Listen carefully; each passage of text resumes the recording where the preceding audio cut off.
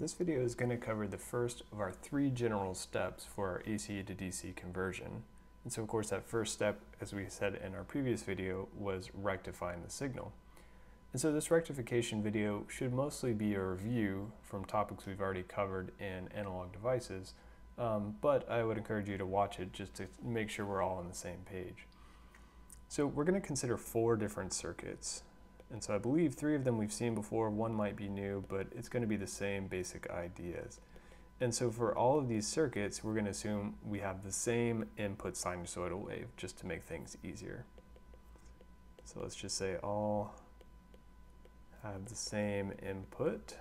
And so what that input is going to look like is this right here. So I just have some generalized sine wave, which has a peak voltage VP, uh, we see it's going down to negative VP, uh, so the difference of the two would be our peak to peak.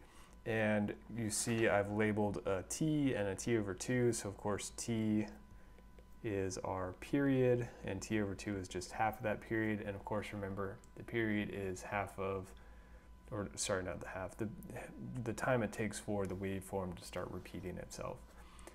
Um, one other thing to recall too is in some of these definitions I'm going to be talking about RMS voltage.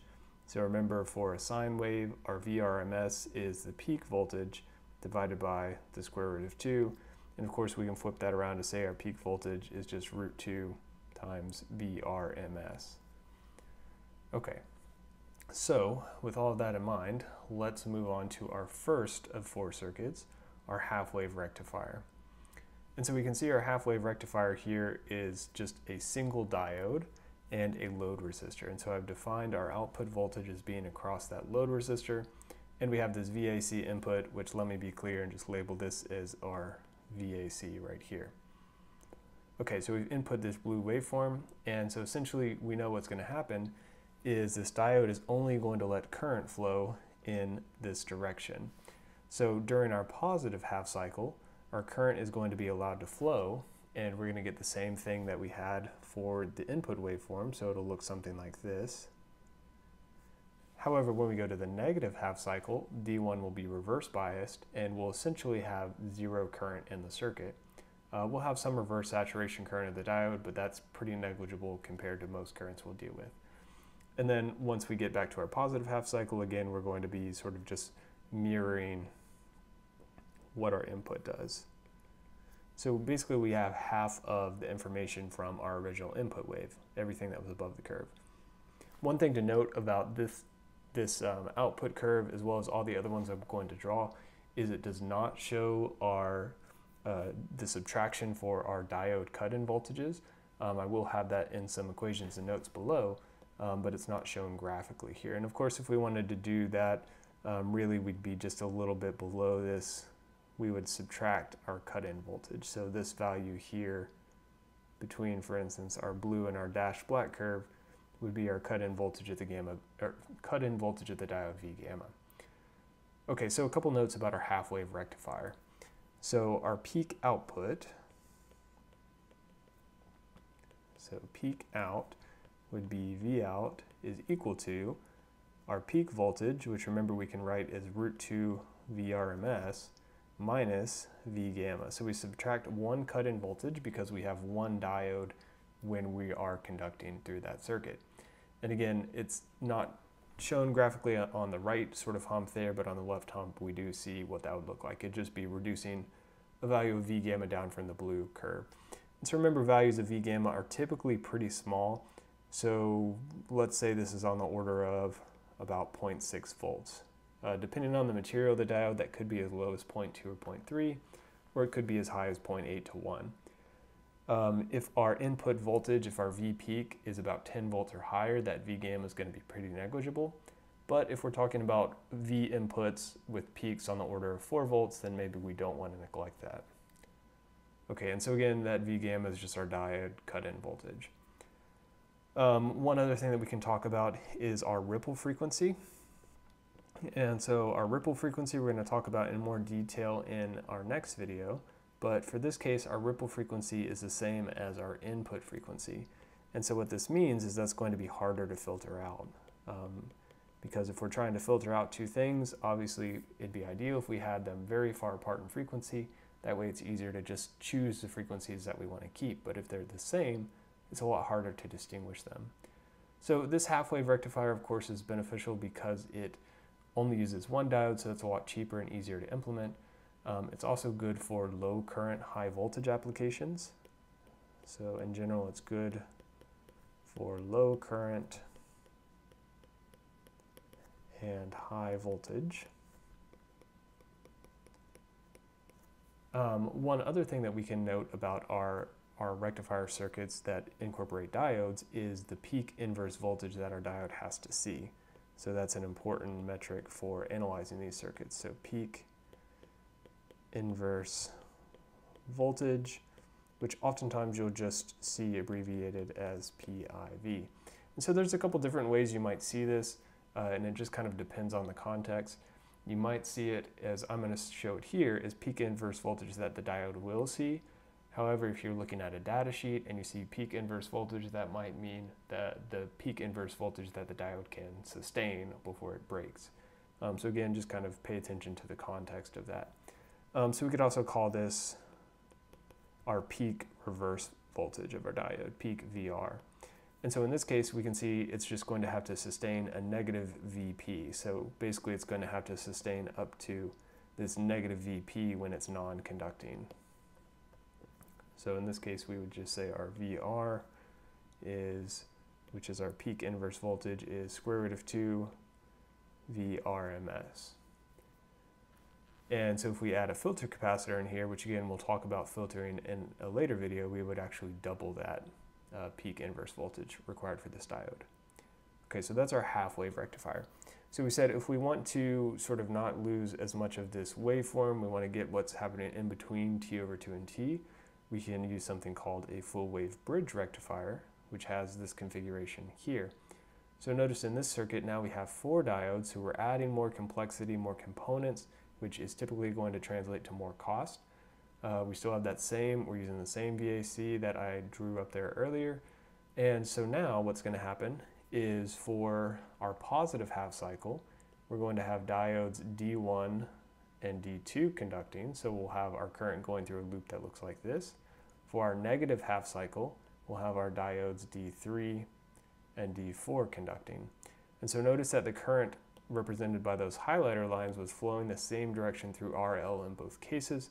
So that's why I have my V out polarity labeled as you see it there.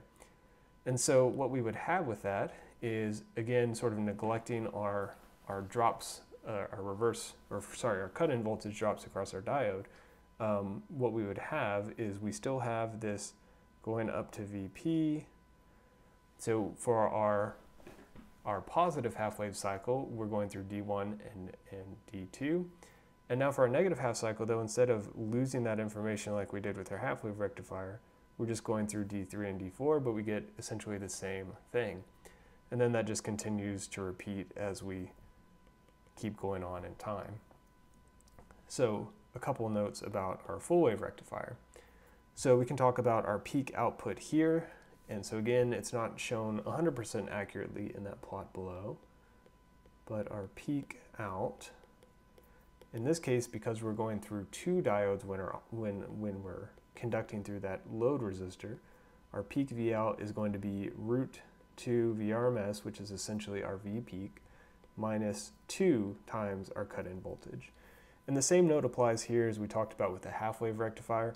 If we have a really large amplitude for our AC input, that's pretty negligible. However, once we get down on the order of 5 volts or so, we probably don't want to be neglecting those diode cut-in voltages. So now with regards to the frequency, notice that compared to our input frequency, we've doubled the frequency of this output waveform. So again, we're going to talk about ripple in a later video in more detail, but we can say that our ripple frequency is now twice the frequency of our input frequency. And so what this means is that this becomes easier to filter because like we were talking about with the half-wave rectifier, uh, we want those, those frequencies to be far apart so we can more easily select what to exclude and what to include. Um, so this is typically good for transformer operated power supplies. Um, if we do operate it with a transformer though, we need to be careful that the secondary of the transformer is not grounded, um, or at least not grounded uh, to the same place where this resistor is grounded because we'll end up shorting out one of our diodes and it'll act like a half wave rectifier. Okay, so the next type of circuit is a full wave center tapped. And so of course this is only relevant if we have uh, our AC input coming from a transformer where we can pull sort of where we have a terminal at the center of our winding on that secondary coil. And so what that looks like, notice we have two diodes. So we're kind of at a happy medium between our half wave and full wave bridge rectifier um, in terms of cost and complexity.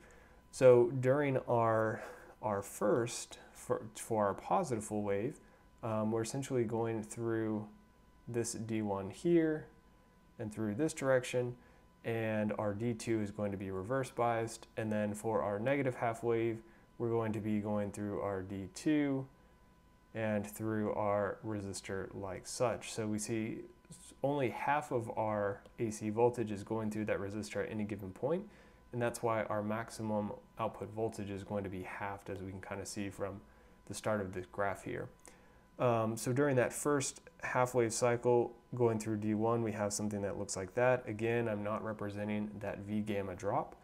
And then during the negative half cycle, we have something like that where it's going through D2, and that just continues on. So again, notice that we have full wave rectification the same way that we depicted here.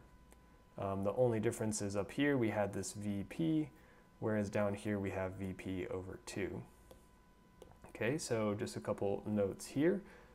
So let's also indicate our peak output. So our peak output in this case is going to be V out equals our VP over 2. Well, VP I'm going to write is root 2 VRMS. So VP over 2.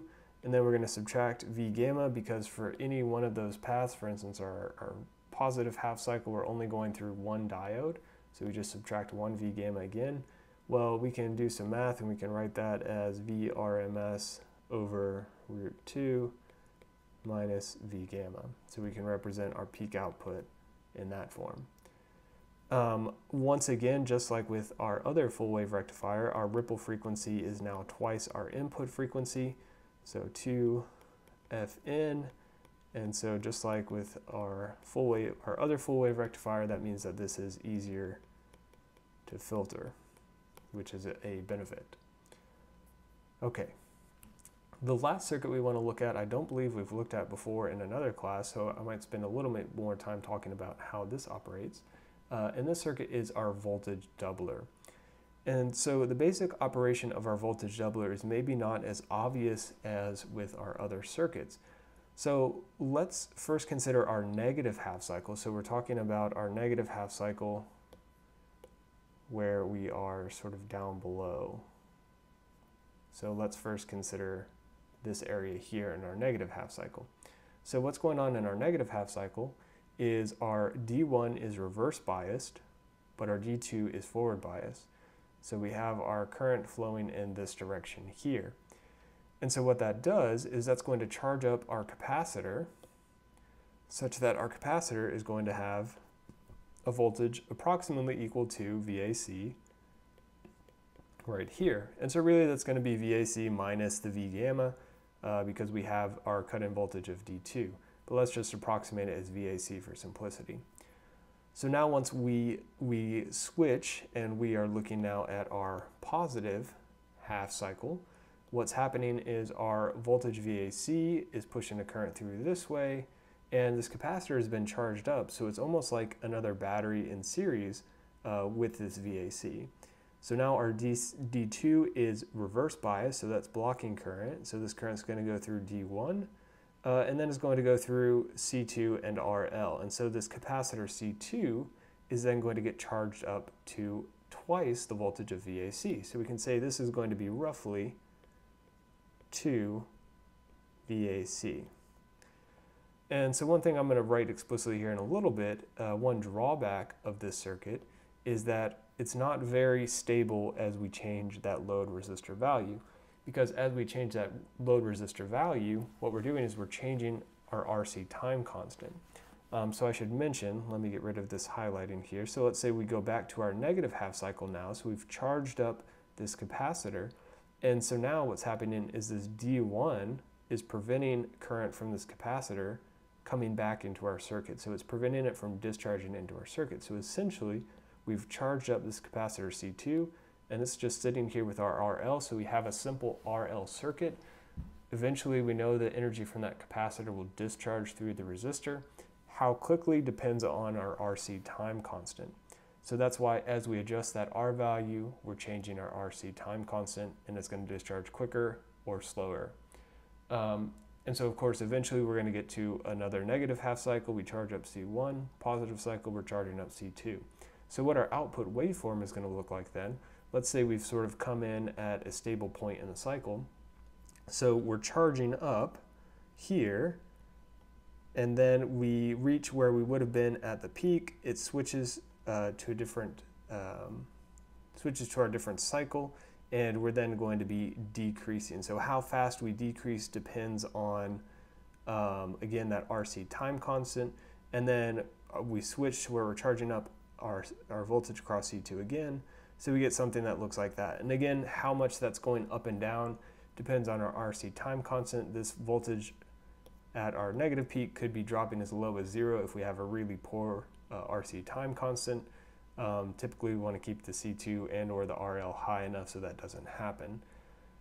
Okay, so a couple general notes about this circuit then. So let's come down here. So our peak output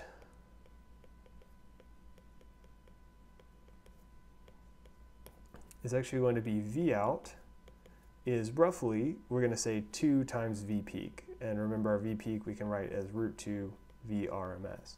Uh, if we want to be a little more accurate, I didn't show it explicitly there, but we can subtract our two voltage drops uh, for our cut-in voltage on our diode because as we're charging up C1, remember we have a voltage drop from D2. So really this VAC is going to be VAC minus V gamma. And then as we're going to charge up C2, again, we have a voltage drop for our cut-in voltage in D1. So we subtract two voltage drops in total.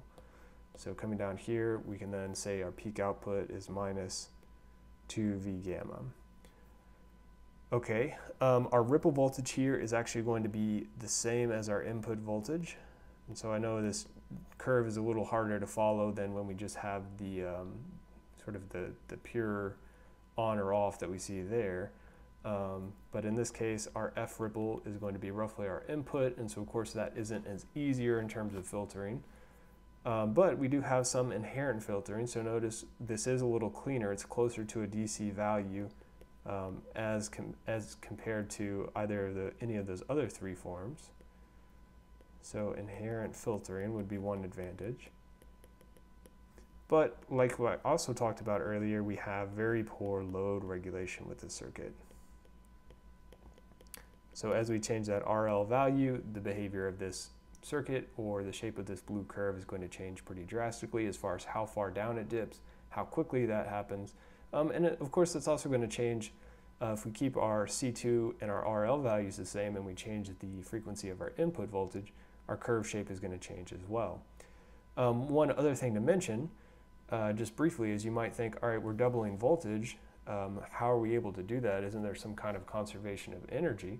And so that's a very good question to ask. And so, of course, we know that energy has to be conserved. And if you'll notice in the middle part, or really the whole right part of the circuit, we only have passive components.